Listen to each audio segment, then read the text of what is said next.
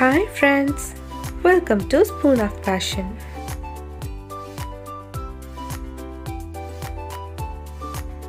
இன்னைக்கு வீடியோவில் நம்ம பார்க்க போகிறது ஒரு கேக் ரெசிபி தான். இதுக்கு ஓவன் மோல்ட் எதுவுமே தேவையில்லை. வீட்டில் இருக்கிற இட்லி பிளேட்ஸ் வச்சு ஈஸியாக ஒரு கேக் செய்ய போகிறோம் மார்பிள் இட்லி கேக்ஸ் எப்படி பண்ணலான்னு பார்க்கலாம். அதுக்கு முன்னால் ஆஸ் யூஷுவல் இது வரைக்கும் நம்மளோட சேனலை சப்ஸ்கிரைப் பண்ணாதவங்க ப்ளீஸ் ஒன்று சப்ஸ்கிரைப் பண்ணிவிட்டு அப்படியே பக்கத்தில் இருக்கிற பெல் ஐக்கானை ப்ரெஸ் பண்ணிக்கோங்க. அப்போ தான் நோட்டிஃபிகேஷன்ஸ் உங்களுக்கு உடனே வந்து சேரும். இப்போ நம்ம கேக் பண்ண ஸ்டார்ட் பண்ணலாம். இப்போது ஒரு ஜாரில் ஹாஃப் கப் அளவு சுகர் எடுத்துகிட்டு இதை நல்லா பவுடர் பண்ணி எடுத்துக்கலாம். இந்த ஐசிங் சுகர் ரெடி பண்ணுறப்போ ஜாரில் வந்து சுத்தமாக தண்ணி இல்லாமல் நல்லா ட்ரையாக இருக்கணும். ஸோ அதுக்காக வேணா நீங்கள் சுகர் ஆட் பண்ணுறதுக்கு முன்னால் ஒரு ஹாஃப் அன் ஹவர் வெயிலில் நல்லா காய வச்சுட்டு அதுக்கப்புறமா சுகர் ஆட் பண்ணி இது மாதிரி பொடிச்சு எடுத்துக்கோங்க. இப்போது நம்ம சுகரை நல்லா பொடிச்சு எடுத்தாச்சு. இதுதான் ஐசிங் சுகர் ஸோ நமக்கு தேவையான ஐசிங் சுகர் இப்போ ரெடி ஆகிடுச்சு நெக்ஸ்ட் நாம் கேக்குக்கான பேட்டர் இப்போ ரெடி பண்ணிக்கலாம். அதுக்கு ஃபஸ்ட்டு ஒரு ஜார் எடுத்துக்கோங்க. இந்த ஜாரும் நல்லா ட்ரையாக இருக்கணும். ஸோ இப்போ இதில் ஒரு கப் மைதா ஆட் பண்ணிக்கிறேன். ஒரு கப் மைதா ஆட் பண்ணதுக்கப்புறமா அதுக்கு மேலே ஒரு முட்டை ஆட் பண்ணிவிட்டு மறுபடியும் இதுக்கு மேலே நம்ம ரெடி பண்ணி வச்சுருந்த ஐசிங் சுகர் போட்டுட்டு அதுக்கு மேலே ஒரு முட்டை. இந்த மாதிரி லேயர் லேயராக போட்டுக்கலாம். நம்ம எதுக்காக லேயர் லேயராக போட்டுக்கிறோன்னா நம்ம மைதா ஐசிங் சுகர் அதுக்கு மேலே முட்டை அப்படி போடுறப்போ ஜார் சரியாக ரன் ஆகாமல் சிக்கி நிற்கும் அப்புறம் என்ன ஆகும்னா நிறைய நேரம் நம்ம வந்து இதை ரன் பண்ண வேண்டியிருக்கும். நமக்கு இந்த மாவு வந்து நிறைய நேரம் ரன் பண்ணி எடுக்கக்கூடாது. அப்படி நிறைய நேரம் ரன் பண்ணுறப்போ இந்த முட்டை வந்துட்டு கொஞ்சம் ஃப்ளஃபியாக ஆக ஆரம்பிச்சிடும். அதனால ஜஸ்ட் நம்ம ஒன்று இதெல்லாம் மிக்ஸ் ஆகிற மாதிரி சுற்றி எடுத்தால் போதும். அதுக்காக தான் நான் இப்போ இப்படி லேயர் லேயராக போட்டோன்னா அந்த மாதிரி ப்ராப்ளம்ஸ் இருக்காது. அதுக்காக தான் நான் இந்த மாதிரி போட்டுக்கிறேன். இப்போவும் ஜஸ்ட் ஒன்று எல்லாம் மிக்ஸ் ஆகிற மாதிரி அரைச்சி எடுத்தாச்சு.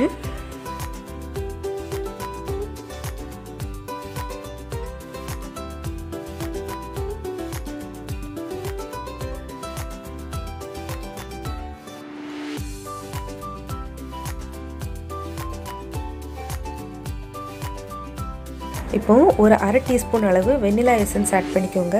வெனிலா எசன்ஸ் இல்லாதவங்க நம்ம ஐசிங் சுகர் ரெடி பண்ணுறப்போ அது கூடவே ரெண்டுலேருந்து மூணு ஏலக்காய் போட்டு பொடிச்சு எடுத்துக்கோங்க. இப்போ பட்டரை நல்லா உருக்கி எடுத்துட்டு அது ஒரு ரெண்டரை டேபிள் ஸ்பூன் அளவு ஆட் பண்ணிக்கோங்க. பட்டர் இல்லைன்னா நீங்கள் சன்ஃப்ளவர் ஆயில் கூட யூஸ் பண்ணிக்கலாம். பட் இதை தவிர்த்து வேறு எந்த ஆயிலும் யூஸ் பண்ண வேண்டாம்.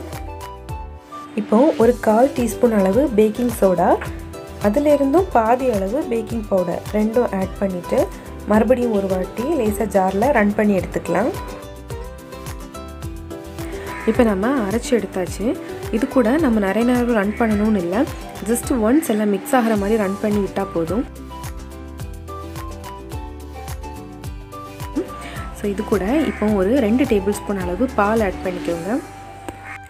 இப்போ பால் இல்லைன்னா நீங்கள் ஒரு ரெண்டு டேபிள் ஸ்பூன் அளவு தண்ணியில் பால் பவுடரை மிக்ஸ் பண்ணிவிட்டு அது கூட ஆட் பண்ணிக்கலாம். பட் டைரெக்டாக தண்ணி ஆட் பண்ணுறதை அவாய்ட் பண்ணிக்கோங்க.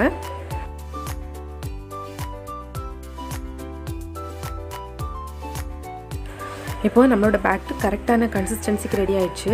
இதை ரெண்டு பவுலில் நம்ம தனித்தனியாக பிரிச்சுக்கலாம் ஈக்குவல் ஹாஃப்ஸாக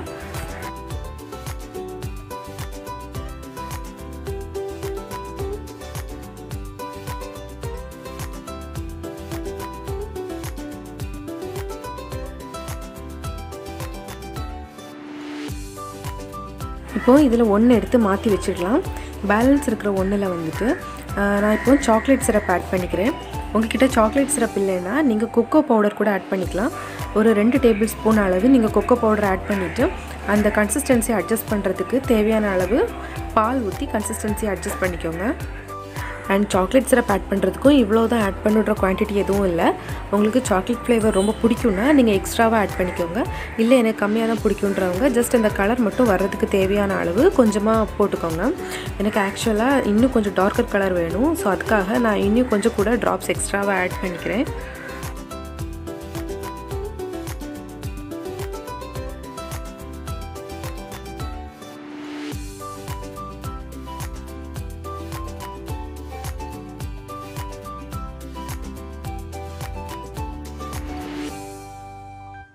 ஸோ இப்போ நல்லா மிக்ஸ் பண்ணியாச்சு. இனி இதை எடுத்து மாற்றி வச்சுக்கலாம். இப்போ ஒரு இட்லி பிளேட்டில் பட்டர் இல்லைனா சன்ஃப்ளவர் ஆயில் ஏதாவது ஒன்று தடவிக்கோங்க. நான் இன்றைக்கி பட்டர் தடவி எடுத்துருக்கிறேன்.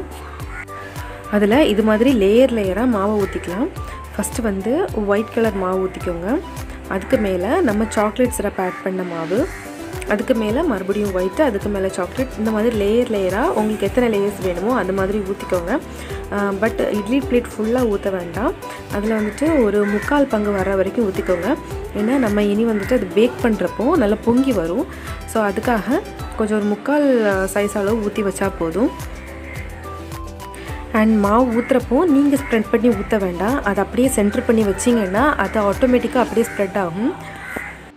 சில இட்லி பிளேட்ஸில் வந்து இட்லி பிளேட்ஸ் உள்ளாலேயும் ஹோல் இருக்கும். ஸோ அவங்க என்ன பண்ணணும்னா இட்லி அவிக்கிற துணியை வந்து தண்ணியில் டிப் பண்ணி நல்லா புழிஞ்சு எடுத்துக்கோங்க. எடுத்துகிட்டு அதை வந்து இட்லி பிளேட்ஸில் ஸ்ப்ரெட் பண்ணிவிட்டு அந்த இட்லி அவிக்கிற அந்த ஸ்பேசஸில் வந்து பட்டர் இல்லைனா சன்ஃப்ளவர் ஆயில் ஏதாவது ஒன்று நல்லா ஸ்ப்ரெட் பண்ணிவிட்டு நீங்கள் இது மாதிரி மாவு ஊற்றி பண்ணால் கூட உங்களுக்கு அழகாக வந்துடும் இந்த மாதிரி மாவு ஊற்றினதுக்கப்புறமா டூத் பிக் மாதிரி ஏதாவது எடுத்துகிட்டு இந்த மாதிரி டிசைன்ஸ் வரைஞ்சி விட்டுக்கலாம். உங்களுக்கு இஷ்டப்பட்ட என்ன டிசைன் வேணாலும் வரைஞ்சிக்கலாம். நான் பண்ணுற மாதிரி பண்ணிங்கன்னா உங்களுக்கு ஃப்ளார் டிசைன் கிடைக்கும். இதுவே நீங்கள் இது மாதிரி பண்ணிவிட்டு ஜிக்ஸாக் மாடலில் ஹாரிசாண்டலில் ஒரு ஜிக்ஸாக் போட்டு ரெண்டாவது வேர்ட்டிக்கலில் ஜிக்ஸாக் அது மாதிரி ட்ரை பண்ணிங்கன்னா உங்களுக்கு லீஃப் மாடல் கிடைக்கும். இது மாதிரி நிறைய ஷேப்ஸில் நீங்கள் ட்ரை பண்ணிக்கலாம்.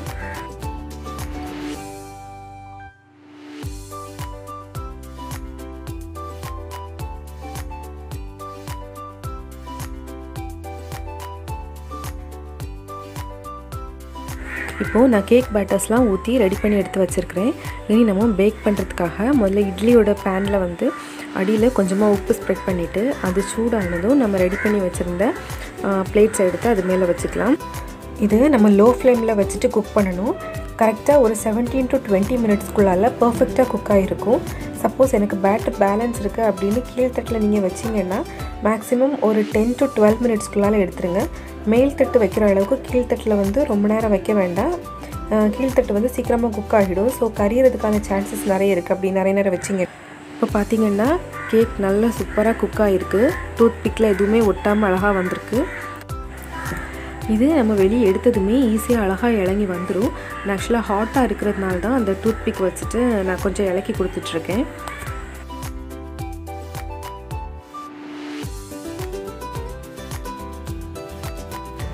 பார்த்திங்கன்னா சூப்பராக ரெடி ஆகிருக்கு அண்ட் பின்னாலேயும் கரிஞ்சு போகாமல் பர்ஃபெக்டாக குக் ஆகி வந்திருக்கு. இப்போ நான் இதை ப்ரெஸ் பண்ணும்போதே உங்களுக்கு தெரியும். எவ்வளோ சாஃப்டாக குக் ஆகி வந்திருக்குன்னு. அண்ட் இந்த கேக் ரிலேட்டடாக ஒரு ரெண்டு டிப்ஸும் சொல்லிக்கிறேன். இன்றைக்கி நம்ம உப்பு போட்டு நம்ம பேக் பண்ணியிருந்தோம். இந்த மாதிரி உப்பு போட்டு பேக் பண்ணுறப்போ இந்த உப்போட ஃப்ளேவர் வந்து கொஞ்சமாக அந்த கேக்லேயும் இறங்கும்.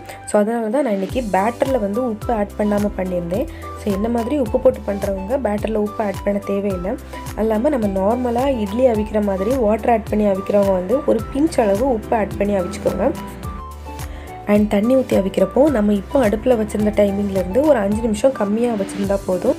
அண்ட் தண்ணி ஊற்றி அவிக்கிறப்போ எவாப்ரேட் ஆகிற தண்ணி மீண்டும் அந்த கேக் மேலே விழாமல் இருக்கிறதுக்காக இட்லி பேனோட மூடியில் வந்து ஒரு துணி சுற்றி வச்சிட்டிங்கன்னா அந்த தண்ணி வந்து கேக் மேலே விழவும் செய்யாது.